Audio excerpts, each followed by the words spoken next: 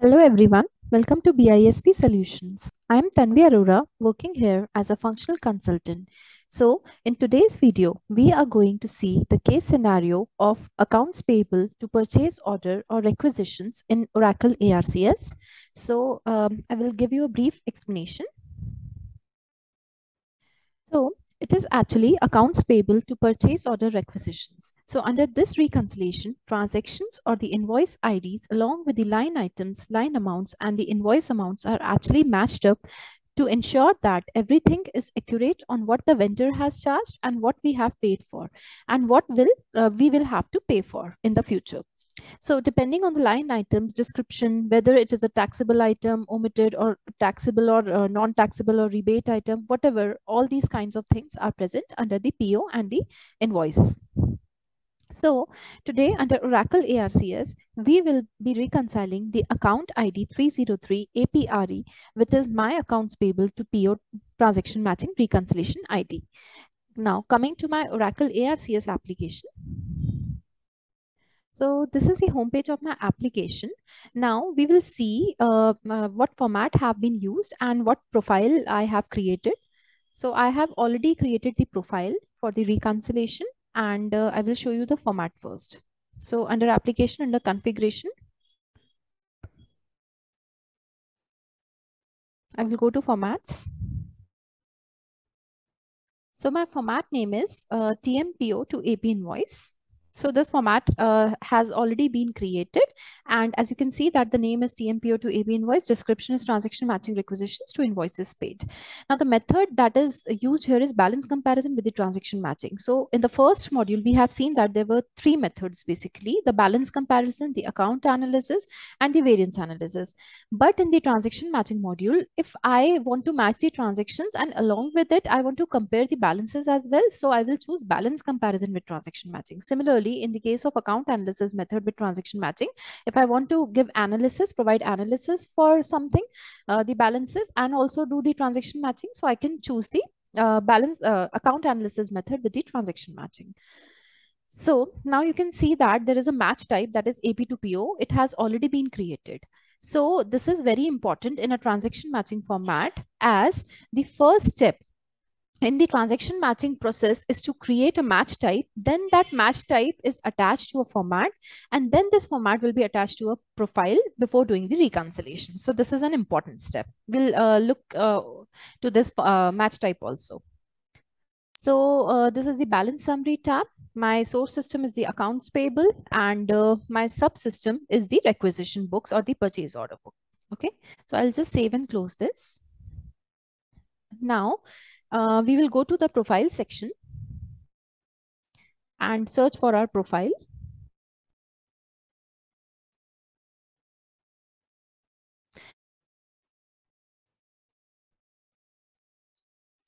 So uh, this is the profile that I have already created.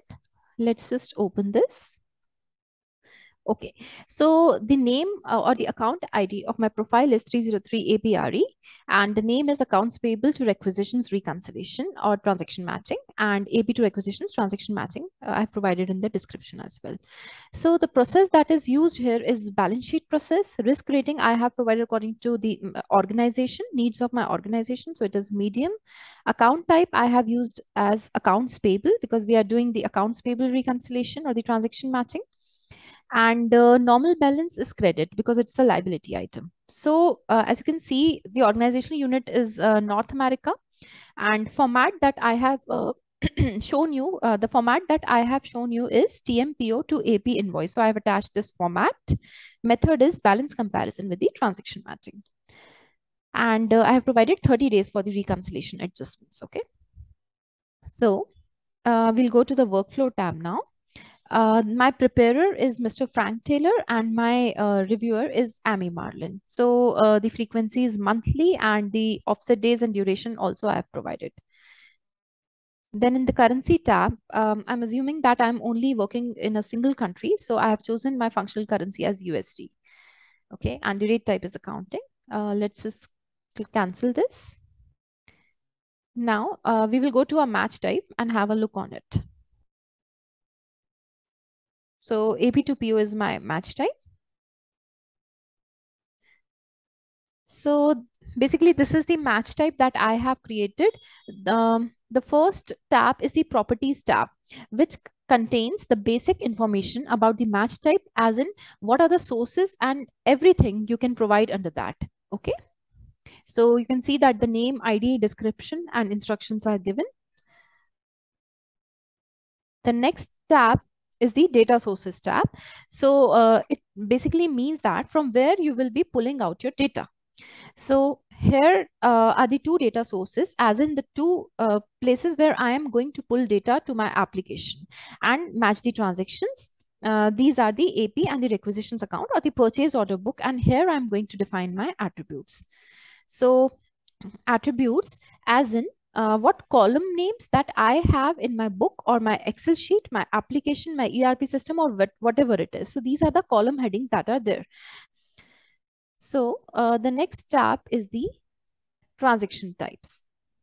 So uh, the, these are the two transaction types that have been provided. So basically these are the headings under which I am going to provide for my difference, the difference between the two data sources. So uh, this one is uh, the difference I'm assuming uh, is of the uh, because of the price discrepancy and uh, the other category is the other one okay.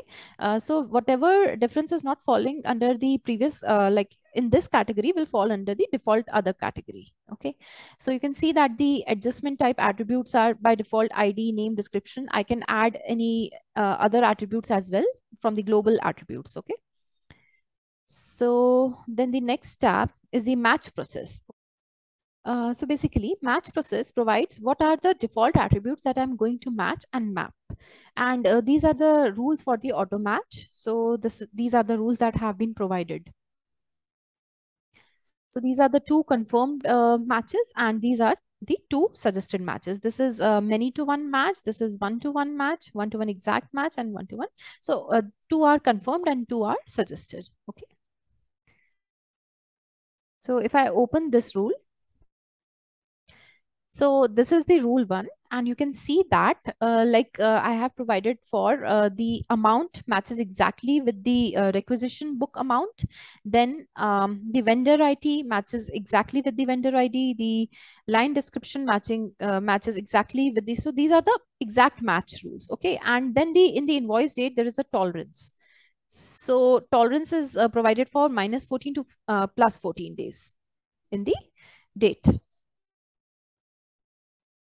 Uh, so why I have provided for tolerance in the date because it may happen that uh, the invoice date and the requisition date is not going to match because the day you send requisition uh, and you get the invoice is not uh, very much possible. So the tolerance, uh, depending on your organization and your settlement with your vendors and etc. So according to that, we have provided the tolerance of minus 14 days to 14 days. Okay. Then this is the rule three and this is a suggested match. Okay.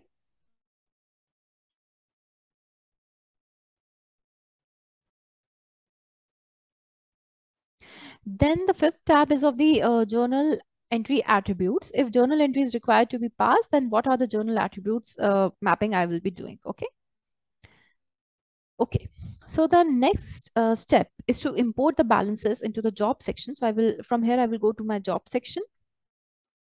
And then under the actions tab, I'm going to import my transactions in the two data sources. Okay.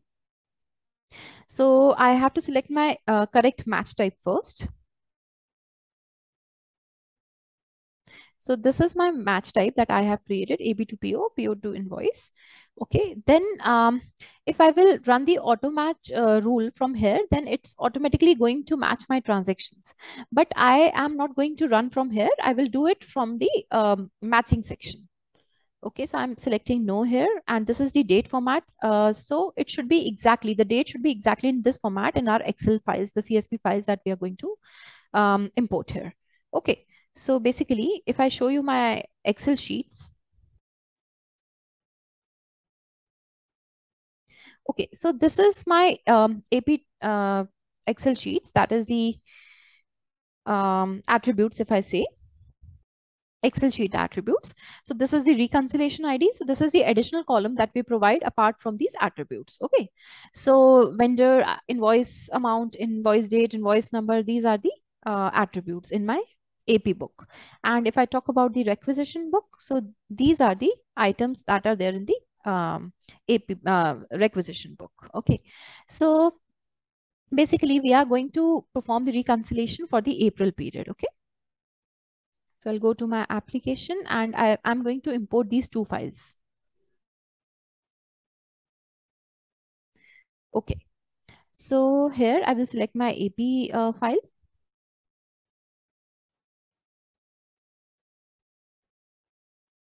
And here I'm going to upload my purchase order file. This is requisition TM. So once I'm done with uh, this process, I'm going to submit this. As you can see, the status is pending. So I'm going to refresh it until it gets exceeded. Okay. So now the balances have also been imported and the transactions uh, have been imported. So let's go to the matching section.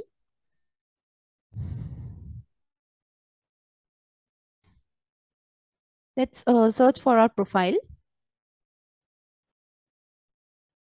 This is our profile 303 APRE. As you can see that we have uh, unmatched transactions four in the in both of these systems, okay, in the two data sources. So if I'll open this, now I can see that I have unmatched transactions of 1,595 uh, in both of the books. And if I total uh, my uh, line amount, so it will come to 1595 only. So these all transactions are unmatched as of now. Okay, so uh, because I have not run the auto match rule, I'm going to do the manual uh, matching. Okay, so that's why it's showing in the unmatched transactions. So this is the um, overview tab. Then if I go to, there are uh, no uh, suggested matches with uh, adjustments or without adjustments because I haven't provided that in my rules. If I go to unmatched transactions, you can see that uh, there are four records in the first uh, data source and four records in the other data source, that is the requisition. So I'm going to manually match these. If I can match these manually, like uh, if I'm going to compare the um, line amount that is 150. Also, I can see here is line amount is 150. Then um, also the invoice we can see. Okay, let's, um, date is different uh, date is different here. Okay, but uh, tolerance is provided in the date. Okay, so I can match uh, these two transactions. Okay, I'm going to select this one and match. So I am actually matching these manually. Had I run the auto match rule, it had uh, been automatically matched.